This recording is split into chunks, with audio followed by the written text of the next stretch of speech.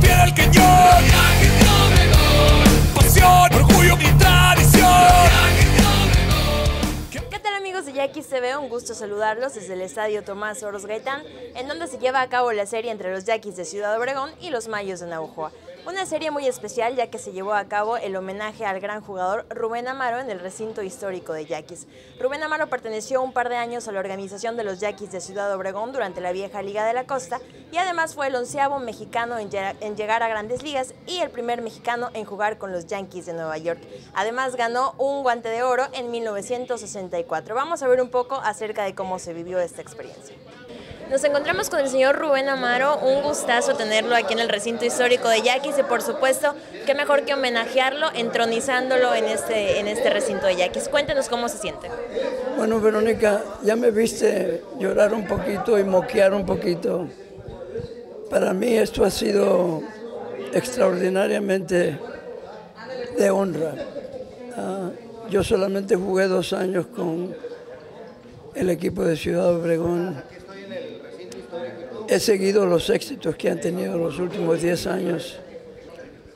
Para mí estar aquí y, ser homenajeado por la organización de ustedes, por el señor Rodríguez, es extraordinariamente...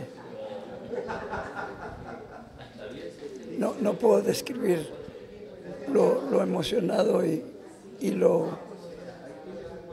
Ah, estoy sumamente ah, agradecido de ustedes. Yo quiero darles un consejo a los muchachos que quieren dedicarse al béisbol. El respeto al uniforme, no importa en qué categoría jueguen. Y siempre hay personas observándolos.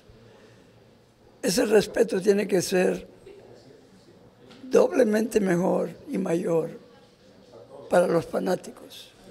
Somos artistas, tenemos días buenos y tenemos días malos, pero si tratamos bien a los fanáticos, van a estar con nosotros todo el tiempo.